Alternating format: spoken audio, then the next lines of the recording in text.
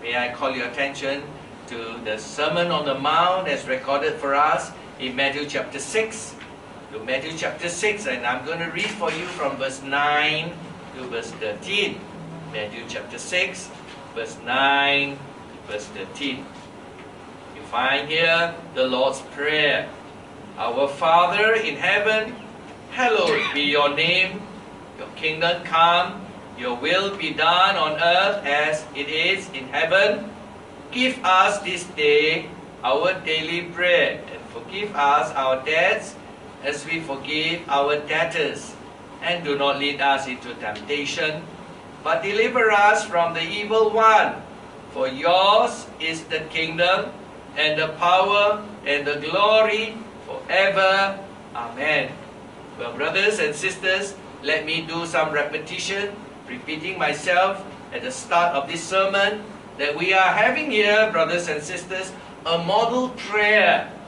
It is a model prayer intended to guide us, to teach Christians how to pray, and for Christians to follow this model whenever they pray. It is famously referred to as the Lord's Prayer. And that gives some people a wrong idea that this was the prayer that Jesus prayed for himself. That's not what it is meant by the Lord's Prayer.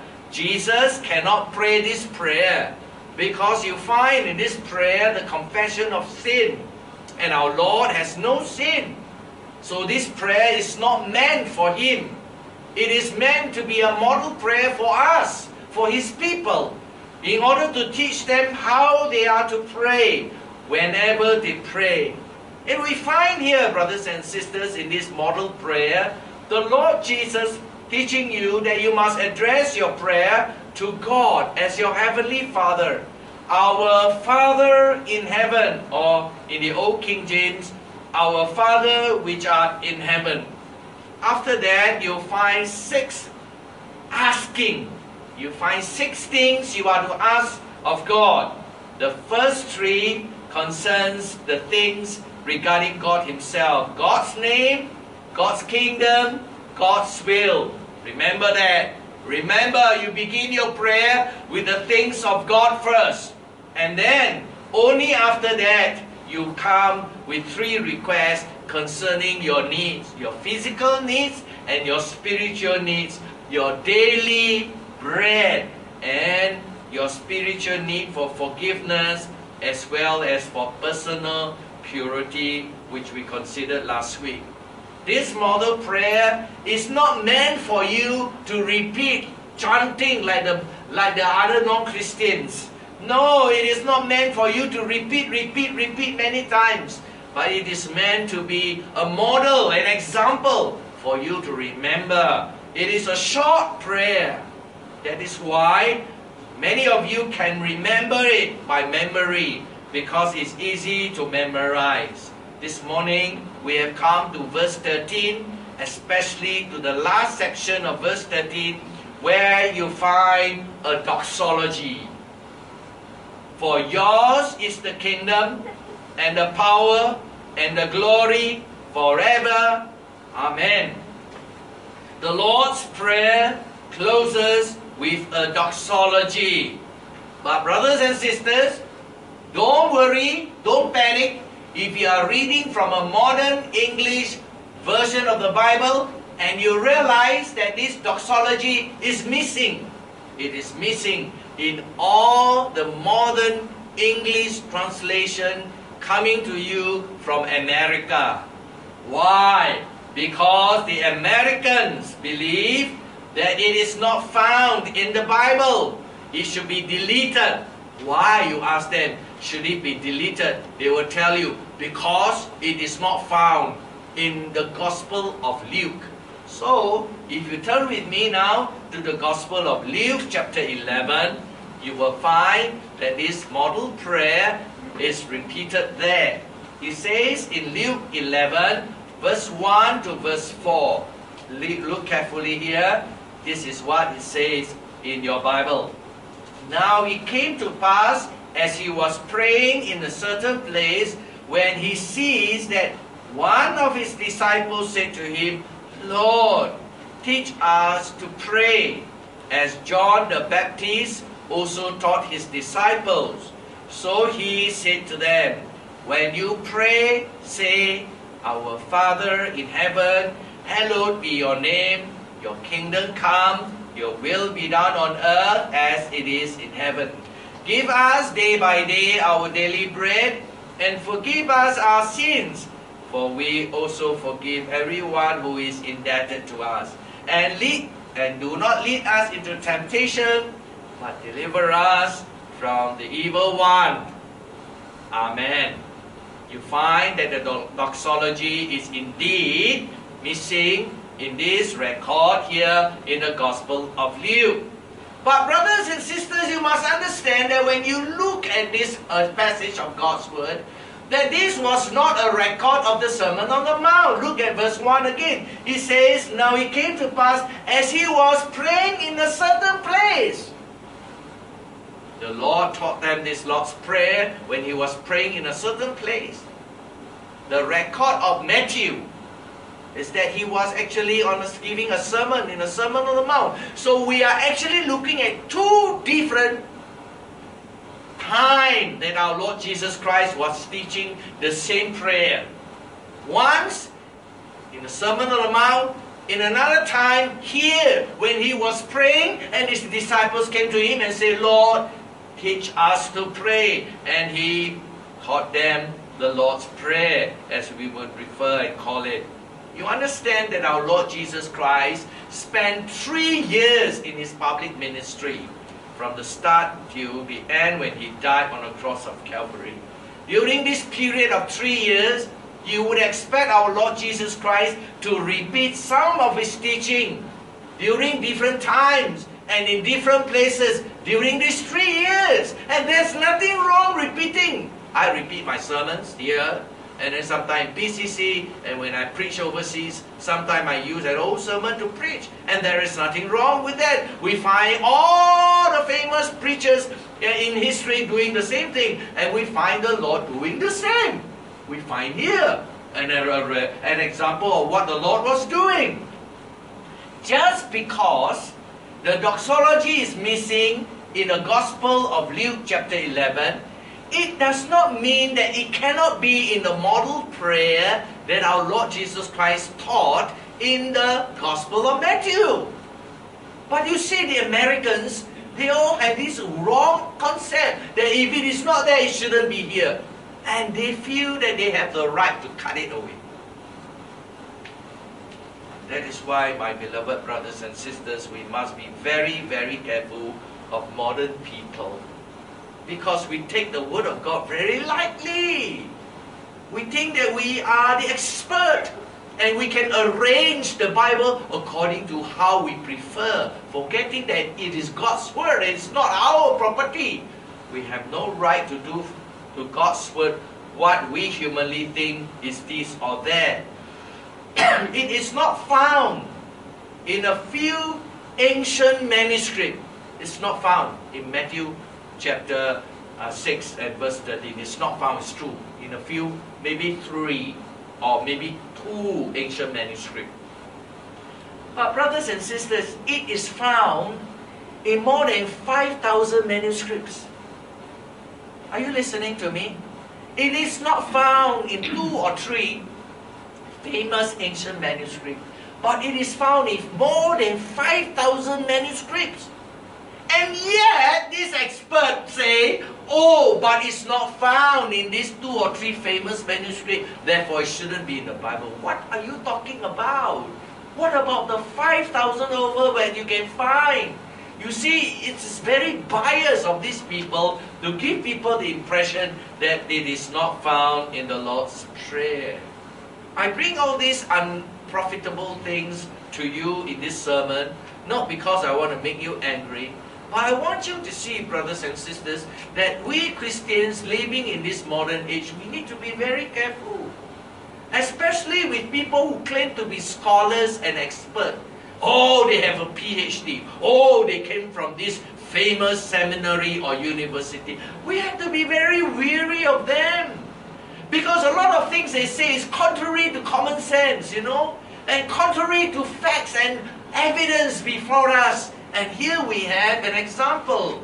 And so I want to persuade you, my beloved brothers and sisters, to stick to your Bible and to know that the people who have been teaching you, they have not taught you wrongly. For example, I want to say this because this doxology, as it is found in our Bible in Matthew chapter 6 and verse 13, is actually referred to and is actually taught in our larger and our shorter catechism. So you hear what the shorter catechism, the shorter catechism has 107 question and answer. So we are looking at 107 question and answer. 107 says this. What does the conclusion, the Lord's Prayer teach us? The conclusion of the Lord's Prayer, which is, For thine is the kingdom and the power and the glory forever. Amen. Teaches us to take our encouragement in prayer from God only and in our prayers to praise Him, ascribing kingdom, power, and glory to Him.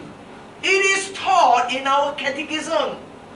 And yet, a lot of Presbyterians who claim that they subscribe to the Westminster Confession of Faith and they do believe in the larger and shorter catechism, they cut the doxology away from their Lord's Prayer. So on Sunday, if they were to ask a congregation to repeat the Lord's Prayer, they will end with, and lead us not into temptation, but deliver us from the evil one. Amen. Isn't it contrary to your catechism? Because it is found, it is taught in your catechism. It is in our catechism. And so it is the reason why I have devoted this sermon to call your attention to this doxology in order that you will not have the idea that why is the pastor teaching us something that is missing in the Bible? It is not missing.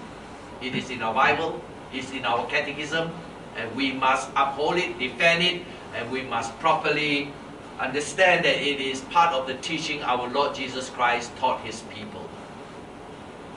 The second point I want to call your attention to is this. If you look at this doxology, turning back to Matthew chapter 6 and verse 13, you learn this very important thing. At the end of the prayer, our Lord Jesus says, For yours is the kingdom and the power and the glory forever. Amen. The Lord is teaching you, as He's teaching you to pray here, that praying is worship. Praying is worship. Again, reading a lot of books from the West, a lot of modern Christians are so influenced, they think that prayer and worship are two different things. They are separate entities, separate and, uh, uh, events, and separate uh, uh, activities. It's not true, brothers and sisters. The Lord Jesus says, every prayer you make must begin with, Hallowed be thy name, and end with a doxology, engaging you from beginning to the end in the worship of God. And so you have to ask yourself, as you hurry along in your prayer, as you are too committed to people in front of you because you're eating with your colleagues and friends and many of them happens to be non-Christians, you do not want them to wait too long, and therefore you hurry along. I wonder what brothers and sisters, as you were praying, is your prayer a worship of God? Many prayer people never even thank God for the food they eat. And even if they do, they do not believe that praying is the worship of God. And here the Lord is teaching you that, that praying is worship. You must not think that praying is not. You ask God for help, you ask God for your needs in this world all the time. But have you ever thought, brothers and sisters, whenever you pray, you are to worship God. Our Lord Jesus calls you to worship God whenever you pray. You are to begin and you are to end your prayers with worship. You see, brothers and sisters, your prayer must not be self centered. Your prayer instead should be God centered. And that is important. Because increasingly modern Christians are praying self-centered, self-centered prayer to God where God is never the center and God is never the person you worship. And so this morning, I want to call your attention to this that praying is not bringing a shopping list to God. That's what a lot of people do. When they pray, they tell God, This is what I want, this is what I want, this is what I want, this is what I want. And God, just in case, this is what I need, this is what I need, this is what I need. And we list out everything. And we forget to worship God. People pray only when they are in trouble instead of praying because you want to worship God. That is why people say, but I cannot pray too long, no. After one minute, I don't know what else to say. It's true. Because you have already listened all you need from God. You already told God whatever you want from God. And therefore you got nothing more to say.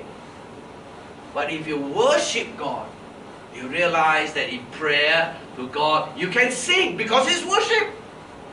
And so therefore this morning, you woke up, you say, Oh Lord, thank you for a new day. Praise to the Lord the Almighty. You can sing to the Lord in your praying. How come? I thought singing is a different activity. It is the same. You can sing in prayer, you can sing your prayer. Isn't that what we do? The book of Psalm this morning, as I read for you, Psalm 88, isn't that a prayer? And people sing.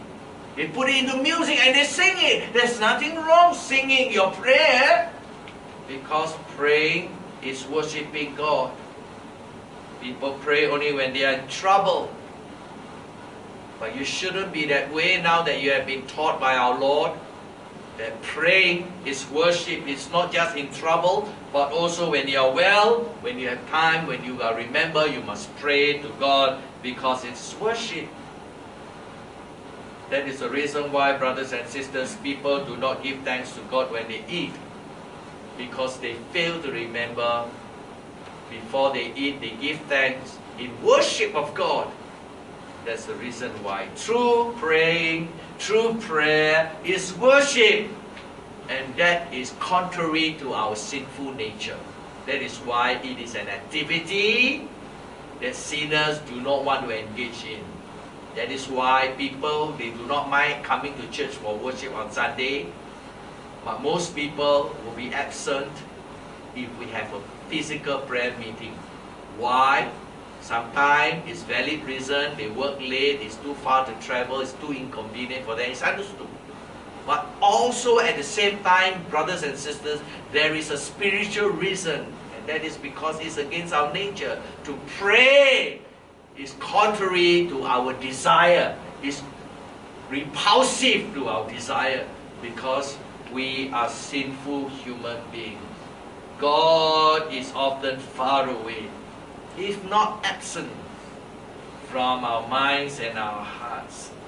That is why our Lord reminds us here through this Lord's Prayer that praying is worship. Therefore, we must remember that and we must constantly pray in worship to God. Tell me, will you fix your eyes on God when you pray? It's not your needs that you should be focusing on. You should be the person you are talking to, God, and He's the great King. You honor Him, you praise Him, you tell Him all your needs, yes. At the end of it all, you praise Him again and you thank Him that He understands you, He knows your needs, and that He has the power to come to your deliverance. And I ask you to turn with me to Psalm 65. Look at what the psalmist says about God in Psalm 65 and verse 2. Psalm 65 and verse 2. O you who hear prayer, to you all flesh will come. This verse first came to my attention when I was a student in London. One day, the church gave us an assignment. And say that can you go and visit somebody in hospital because the person is very ill, may pass away anytime. And so Pastor Eric Kwang and I was given the assignment. So we took the tube and then we went to visit this person in a hospital. We went in and we saw the person and we prayed with the person. We stayed there for a while. And on our way out, we saw a big sign hung there that says with an arrow to the chapel. And so Eric and I decided that, ooh, why don't we go and see what is the chapel? So we went in, and to our surprise, it was a very old chapel in the hospital, made of wood, it's all wooden. The wall the wooden, even the pews, the chairs, all wooden, all installed, and you cannot remove any of them. It's all nailed down. It's all wooden, and right in front there is this sign, O thou who heareth prayer, unto thee shall all flesh come. Psalm 62, 65 and verse 2. And our hearts was, was moved because we saw in front of us some of the patients and some of the loved ones of patients, some of them crying, I suppose passed away, died, just died a few minutes ago or whatever. And some of them in tears, in pain, begging for God's mercy for their loved one who is seriously ill in the hospital. And we were moved. Eric and I, we went in there, we were moved. And so Eric and I, both of us said, look, what a wonderful, what a wonderful promise, what a wonderful place, what a good enticement for people to come and pray. O thou who hearest prayer, unto thee shall all flesh come. You see there, brothers and sisters. It is not about healing, it's not about mercy, it's about worship. It's about remembering that God calls us to pray to Him and He promises that He will hear. It is not just a command to pray, it is a command to pray and He assurance, I will hear when you pray, I will hear. So, beloved brothers and sisters, we should engage in prayer because God promises to hear because praying is worshiping. Look at Daniel. He was separated from his family. He was away in a foreign land. He has to learn a new language. And he was not able to go back home for a visit for many, many years. He left as a young person in his teenage years. He died there as an old man. Never see his home again. He died in a foreign land. Did he lose his faith in God? If you turn to the book of Daniel, chapter 6, look at what Daniel regularly, daily, he would engage in in Daniel chapter 6. And look at verse 10. In Daniel chapter 6 and verse 10, you read, And in his upper room, Daniel's upper room, with his windows open towards Jerusalem, Daniel knelt down on his knees three times that day and prayed and gave thanks before his God as was his custom since early days. Look here, very important. He learned to pray from his early days when he was a young boy. And he never, never forget this spiritual gift of God. If you say that when you were young you pray and then you lost it, there's only one reason. You don't love God. There is another reason. You were never converted. Because look at Daniel. He has many reasons not to pray, you know. What kind of God, man? Allow me to be taken away by stranger. Allow me to be transported so far away. Allow me to be so away from my family and everything familiar to me. Look, I have to learn a new language. You know, I have to survive, you know. And I will die in that foreign land. No chance to go back anymore. Why should he believe in God? Many of you will think like that. He never blessed me. But Daniel trusted in God. Daniel never doubted God. There must be a reason why he allowed me to be in Babylon instead of in Judea. And Daniel believed in God. And he tells you here that he thanked God. He gave thanks before his God. He gave thanks even. He gave thanks, brothers and sisters. He was worshipping God three times a day. How many times do you pray every day? I'm not asking you how many times you give thanks for your food. Lah. I'm asking you how many times you purposely set a time, time for worship. Mini worship. Because praying is worshiping. Daniel three times. David tells us he five times. We are not following the Muslim. Ah. It's just that people pray. And so I hope that you think about all these things, learning the good example and a habit of godly men in the Bible.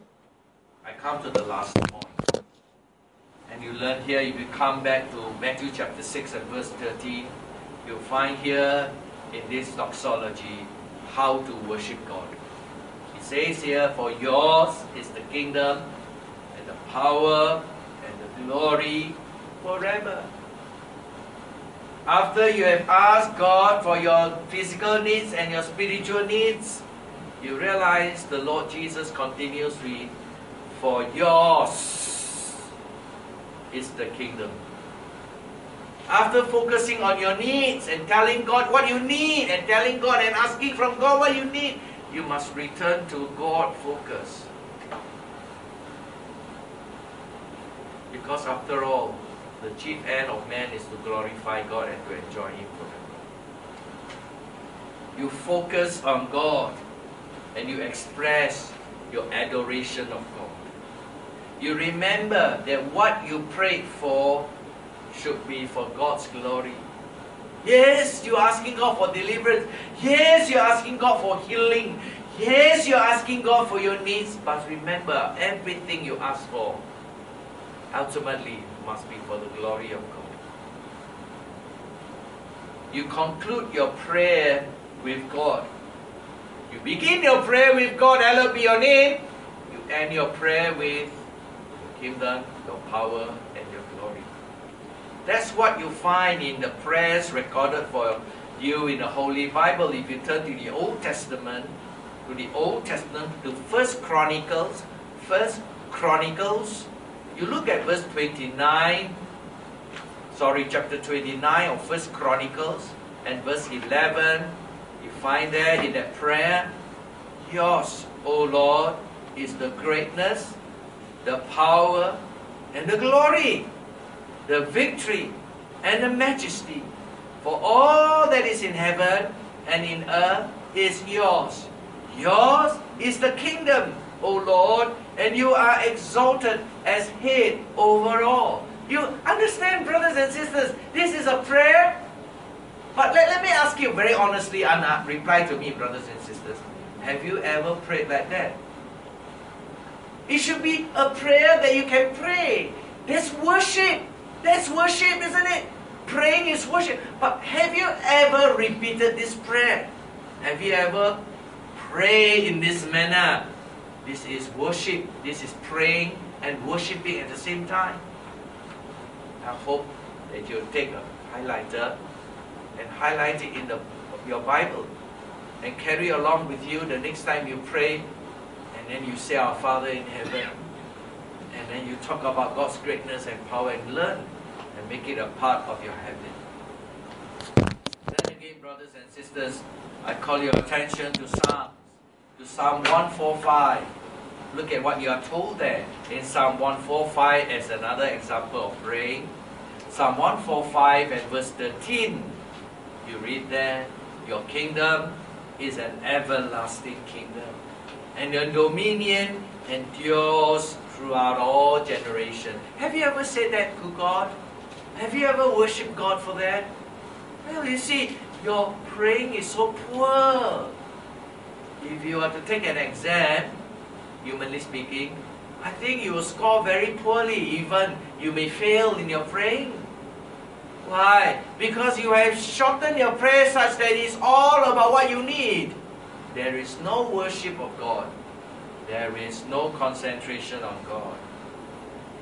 Instead, we find even in the New Testament, the Apostle Paul, while he was writing his epistle, He was worshiping God at the same time while thinking about the great things of God. For example, if you turn to 1 Timothy, for example, look at what he says in chapter 1 to 1 Timothy chapter 1.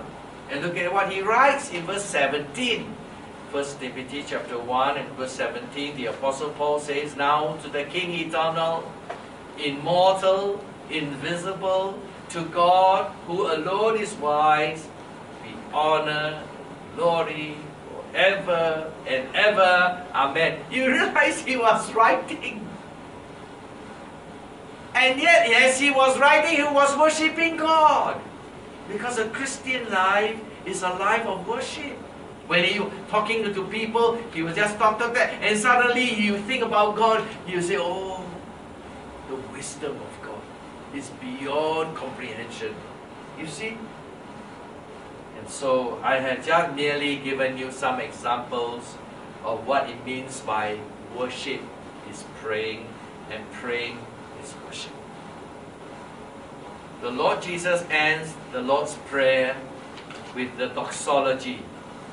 He says, For yours is the kingdom and the power, and glory forever.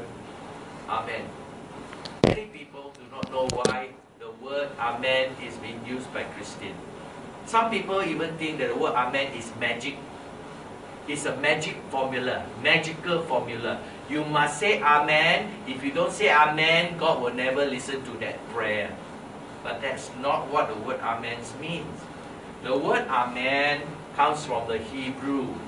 The Hebrew word Amen means so let it be. So let it be. I pray to God. I come to the end of my prayer after worshiping God and I say, Lord, so let it be. So let it be. And then when you hear people praying at a prayer meeting, we see people praying after one another. I want you to know, brothers and sisters, personally, it's a great encouragement for me as your pastor to hear you pray one after another. And everyone say Amen at the end of each prayer. It means to God, it means you telling God, I heard the prayer. I wasn't sleeping. I heard the prayer. Lord, so let it be as the person has prayed. So it's important, my beloved brothers and sisters, to say Amen. We are actually joining ourselves with the person who had just prayed. We are saying, I agree. And I support, I second the, what the person prayed for. So, as Christians, we have a responsibility to be united in this matter. We have come to the end of the Lord's Prayer. In our last few weeks, we have been looking at it. And I hope that you learn something from it if you find that it's difficult to remember everything that I've said from the sermons, I want you to remember this and carry this along with you for many, many months or years to come, and that is this. Praying is worship. Praying is worship. It doesn't need to be words. It can be singing to God in prayer. And may God help you all, my beloved brothers and sisters, as you pray for one another and for our church. Let us pray.